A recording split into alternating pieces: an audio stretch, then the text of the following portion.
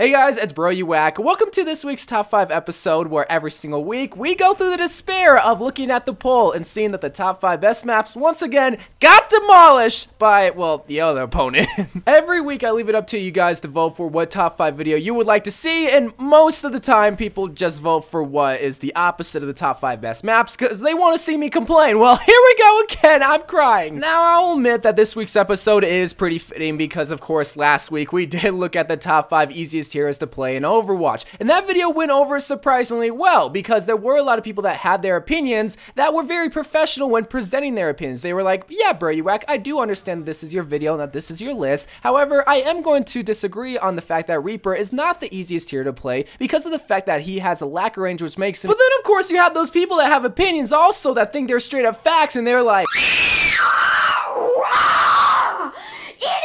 So just remember that this is a top 5 list. I can't include every single hero because at that point it would be a top 30 list and that seems like an awkward thing to really do. A hero is going to get left out. And if you think that hero should be included on this list, that's what the comment section is for. It's not to, okay, I'm going to be honest. When it comes to my videos, yeah, the comment section is basically just to roast me and my love life. But, but, I would appreciate it if you didn't do that. But before we get onto the list that will eventually lead to the greatest roast session in this comment section, let's vote vote in the top right hand corner for next week's top 5 episode, which is going to be between the top 5 best maps versus the top 5 best workshop game modes. I figured the workshop just released this week, and there are so much workshop game modes that honestly I've even covered in the past, but I want to look at the best that are the most memorable, the most fun, so that when it does release for console, you guys know which ones to play. Or, or, or, or, or finally, look at the top 5 best maps. But now, let's get into this week's top 5 episode, which is going to be looking at the hardest heroes to play. This isn't just going to be looking at their aiming mechanics and how hard it is to master, but it's also taking in consideration their abilities, how hard it is to gain the knowledge of what role that they fill. There is much more that makes a hero hard to play than just based on is it hard to aim with them. But that's not really going to be the case with this first hero that's going to be taking the number 5 spot because this hero is all about aiming. This is the least forgiving hero when it comes to your aim mechanics. If you suck at aiming, you're going to suck with this hero, and that's what makes this hero so hard. Ladies and gentlemen, at the number 5 spot, this is going to be the homegirl Widowmaker. Now, I won't spoil last week's episode in case you didn't watch it, but I did have at the number 1 spot a hit scan hero that did require aim mechanics,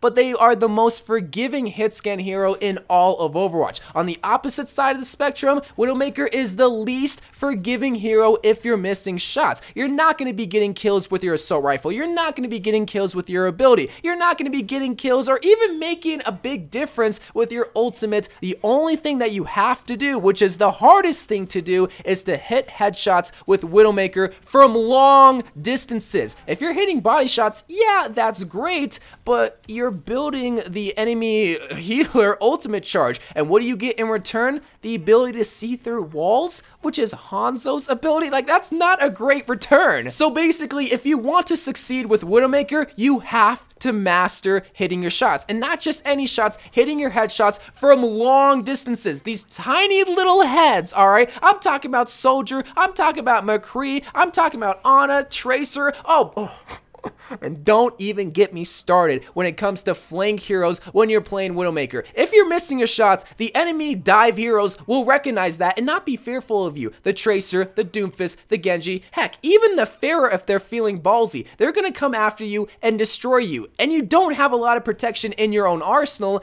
and you're not really gonna get a lot of protection from your team because they're all the way forward and you're all the way back, which is where you should be. So that is why it is so hard to play Widow. She's so fragile, and it's so hard to hit your shots because of the fact that you have to be so accurate on heads. Not bodies, heads. But again, you really only have to worry about being accurate when it comes to Widowmaker, and you can easily practice that over time. But with these other heroes, it's a lot more than just aiming. It's about being able to identify what your role is, or what your main job is, or mastering your abilities. And at the number 4 spot, that is literally the embodiment because I think the fourth hardest hero in Overwatch is going to be Hammond. Let me explain explain. Let, let me explain, okay? If you're one of those commenters that think Widowmaker, Hanzo, Soldier 76, McCree are all heroes to play because they're hard to aim with, at least when it comes to Hammond, you're gonna have that intensive aim mechanics that is gonna be needed to be able to do good with him because you're not really gonna be securing kills with your grapple ability, with your seismic slam, sometimes your ultimate, but it's really gonna be the ability to aim for the heads. So that's the first semi-hard part about Hammond, but the hardest part about him is really mastering the abilities and what I think is something that a lot of people don't understand is super effective because what separates an alright Hammond from a godlike Hammond is the ability to use the grapple ability and be able to identify who and when to seismic slam into the enemy back line. Because let me ask you this, how many Hammonds have you seen just seismic slam right in front of you and your whole entire team focused that hero? The Brigitte stunned them or the McCree stunned them, there was a Discord on him and you just instantly killed him. There is so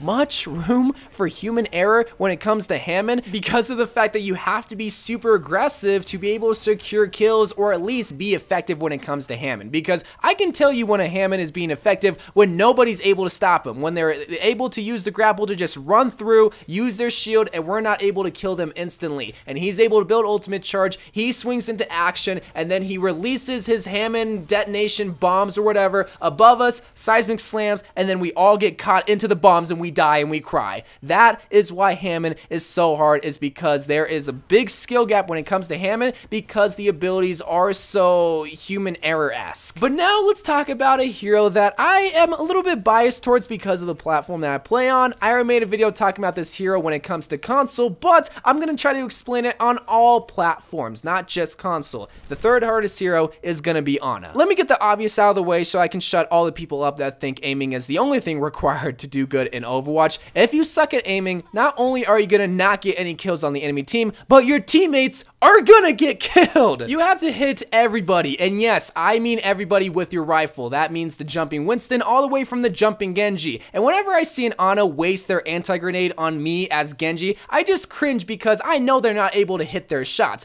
I, yes, I, that might seem a little bit selfish of me to think that the Ana should be able to hit your shots, but when it comes to Zenyatta, you get 100% accuracy with your heals. When it comes to Mercy, you get 100% accuracy with your heals. When it comes to Ana, you get 50% accuracy when it comes to your heals. So that means you have to be so accurate just to be able to do your job as a healer. On top of that, you have no self-health regeneration. Now, yes, I do understand that heroes like Baptiste and Moira also don't, but at least they have abilities that not only benefit themselves when it comes to heals, but also their teammates. If you waste your anti-grenade on yourself, you just wasted what is one of the best abilities in the game. The ability to ensure that nobody's going to be able to heal the enemy team, the ability to ensure that nobody's going to be able to get healed from the Zenyatta Transcendence in the Zarya Grav, that is so powerful. So you have to be very careful when you want to splash it on yourself or on the enemy team. Plus, you're this tiny 200 HP grandma. You are so fragile. You are so tasty to a flanking hero because if you're not able to hit your shots or if you're not able to sleep them, then they're going to have a field day with you, which leads me into my next topic, which is going to be the sleep dart. This thing is not a hit scan. So you not only do you have to be accurate when it comes to the hit scan and projectile of your rifle, but you also have to calculate the projectile of the sleep dart. That is your only form of protection because we all know that your teammates don't protect you. yes, that's a little bit of exaggeration, but this is expected of you when you play Ana, it is to be able to protect yourself with the sleep dart. And it's somewhat hard to calculate that when you have a sleepy tracer on your nuts. But I don't think it's as hard as number two and number one. And even even though I said a joke earlier, I do believe that you do get a little bit of help and a little bit of protection from your teammates. You're not alone when you're doing your job, but when it comes to number two, number one, you're a one-man army. So not only do you have to look out for yourself, you also have to master abilities. You also have hard aim mechanics that you have to get down too. So at the number two spot, this is gonna go to everyone's favorite lesbian, Tracer. First of all, aiming. You have to be good at aiming. If you're not, then yeah, you're gonna suck as Tracer, but you have to be able to be good at at aiming up close because if you're aiming anywhere from 10 feet or above, you're gonna be tickling the enemy team. It's, it's just a little little tickle part. that that sounded gay. I mean, it's Tracer. I guess if I'm gonna be making those comments, it's gonna be right now. So, but what I'm trying to say is that you have to be very up close and personal and in harm's way to be able to be effective, and you also have to be accurate with your shots. But that leads into the possibility of you getting killed because you are so close to the enemy team. Let's say a McCree, a, a, a Brigitte. Those are popular heroes that are obviously going to stop you as Tracer. So you have to be very careful on who you're going to pick, which takes a lot of game knowledge, which takes a lot of planning on your own part, not help from your team. You have to be able to identify who you're going to be able to focus on, who you're going to be able to one clip, all that kind of stuff. You have to be able to manage your abilities well, because if you're wasting blinks, then you have no escape plan if, say, someone does catch you with your pants down. While you do have a lot of escape plans, they could be easily wasted if you do not master them. And on top of all of that, she has only, only 100 and 50 HP. She is one of, if not the easiest heroes to kill in Overwatch, right next to Baby D.Va. But that, that, that's been really good. She has 150 HP, bruh. So that's really why I think she's one of the hardest heroes, because you have to be a one-man show, you have to know every single route, every single flank, where all the health packs are of every single map, so that you don't waste your abilities, and you have to be able to manage your abilities very well, so that you don't get so easily killed because of the fact that you have 150 HP. But I don't think think she's the hardest, and some can make the argument that she is, but at least when it comes to Tracer, there's abilities that can forgive you for your stupidity. But when it comes to the number one spot, there is no forgiveness. There are so many things that if you mess up, you're going to die. That is why this hero is so hard, and this hero is gonna be none other than the girl, Mercy! Genji, Genji, Genji, you knew this, you knew that. I don't know if it's in the thumbnail, I don't care if it's in the thumbnail. Genji is the hardest hero. Now, a lot of people are gonna argue if he is the hardest hero, but they will agree with the fact that he is a hard hero for many different reasons. So let me just list them out. First of all, aiming, I think that can be said with all these heroes. Yes, it is a part of them that makes them hard. It's not the only part, but not just any aiming when it comes to Genji. He's not a hit scan, he's a projectile. Whether you're two feet away or two million feet away, you have to be able to calculate where their stars are going. But then of course his abilities are difficult to master as well because the people that just learn Genji, yeah, they're gonna want to deflect an Orisa shooting them that's right behind the shield or a Junkrat shooting their grenades. But the godlike Genjis are gonna be able to identify, okay, well, what's to be the most beneficial my deflect? Is it to be Fire Strike from the Reinhardt? Am I want to save it for the ulting soldier that put, could possibly have their ult right now?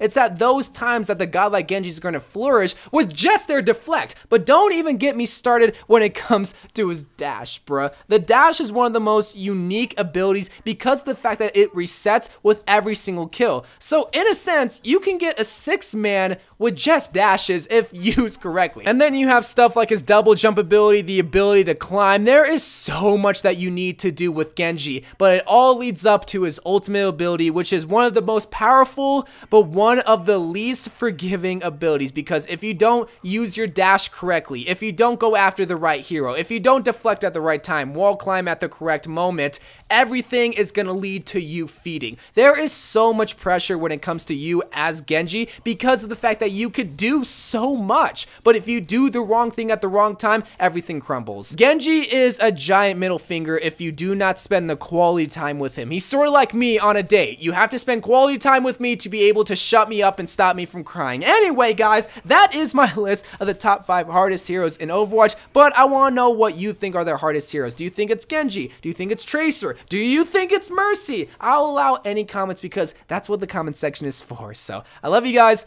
Thank you guys for watching. More Overwatch videos to come, and bye.